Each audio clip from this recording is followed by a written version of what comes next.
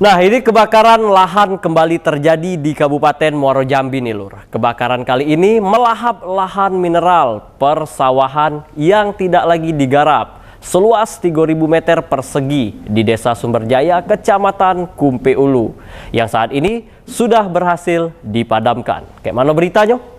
Ini dia. Seperti inilah kebakaran lahan di Desa Sumberjaya, Kecamatan Kumpe Ulu, Kabupaten Muaro Jambi.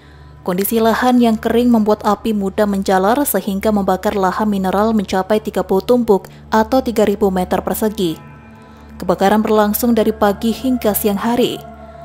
Sedangkan kondisi angin yang kencang membuat tim Satgas Darat kewalahan untuk memadamkan api.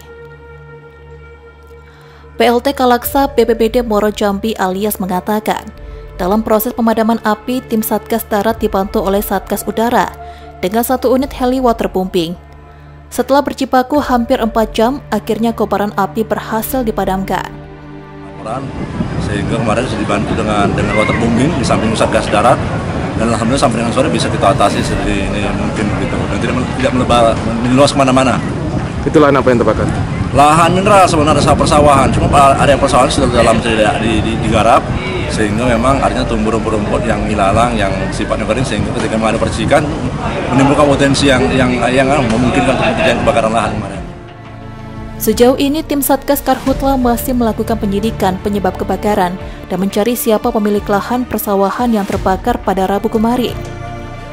Tim Satgas kembali mengingatkan kepada warga agar tidak membuka lahan dengan cara membakar, mengingat kondisi Moro Jambi masih mengalami kekeringan. Novia Putri Sanjaya, Cek TV, melaporkan.